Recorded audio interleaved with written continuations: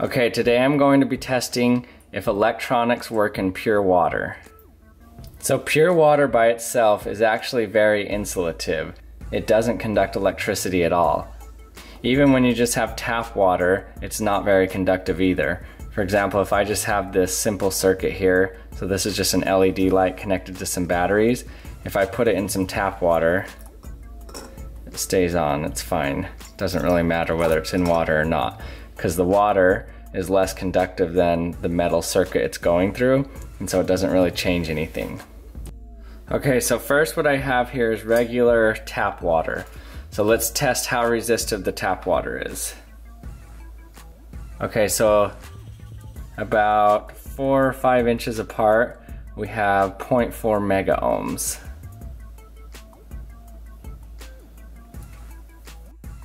Okay, so what I have here is type 2 deionized water.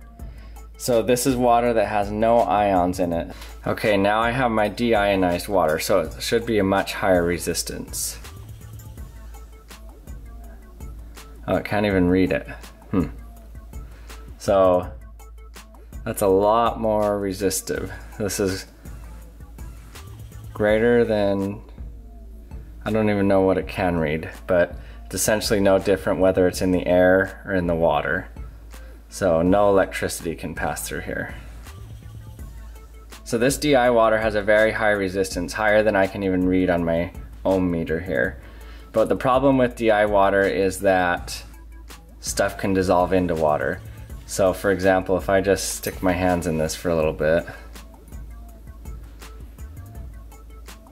see if it changes the resistance.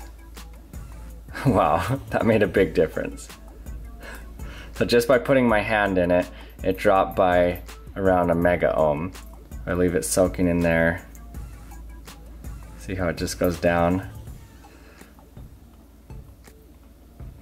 So this happens because my hand has pores on it and the pores release sweat and so that sweat comes out it mixes with the water and puts ions in the water so that makes it conductive again so when we try to put something in the water most likely it's going to release its own ions and make the water conductive around it.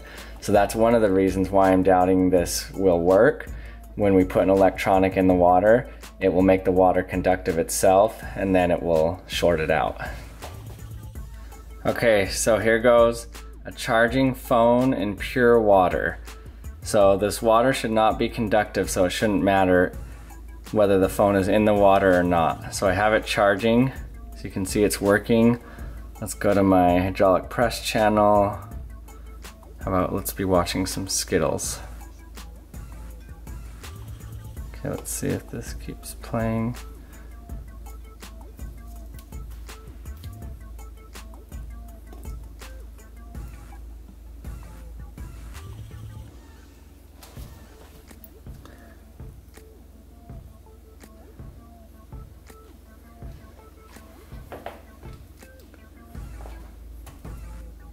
Okay, so it's under the water, still charging.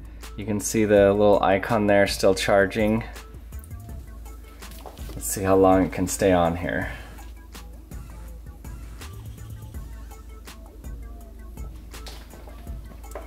Wow, this is pretty amazing. So the pure water doesn't affect it at all.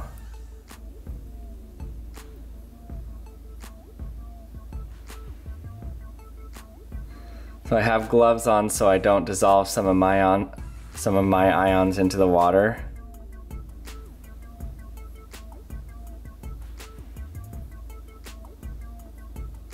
Can even play a video here.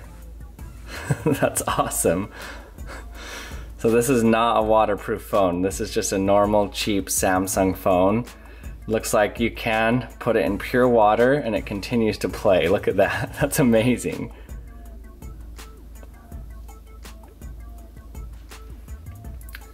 This video is pretty cool if you haven't seen it yet. Helium balloons sink in the vacuum chamber.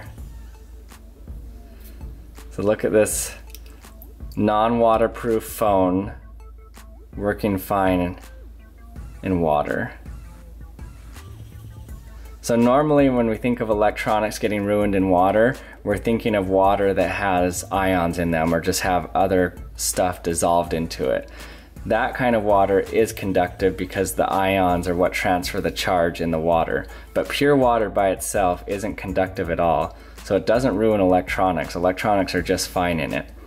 After a while though, some of the ions will dissolve out of the metals into the water and any other parts that are in there. So after a while, the water can become conductive, but it's been about four or five minutes now, and this phone is still just fine in here.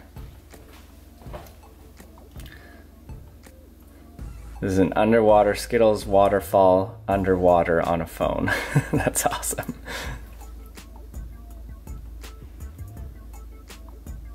So I'm pretty amazed. I thought this would shut off after a while because I thought eventually whatever materials were in the phone would start to dissolve into the water, but it looks like it's just fine. So it's been about five minutes and it's just fine. Let's go back. So I can almost work on the phone as if it's no different whether it's in the water or not. So it's been about seven minutes underwater. It's saying something there the battery icon is red for some reason. But other than that, it looks like it's still working fine. The speakers don't work because underwater the speaker cones can't vibrate, but it looks like everything else is working fine on it. So I'm leaving it plugged in so you know that the circuitry is not closed off to anything. The wires are essentially bare here and it's still working. Well, there you have it. I'm a little bit surprised. I thought that this might not work.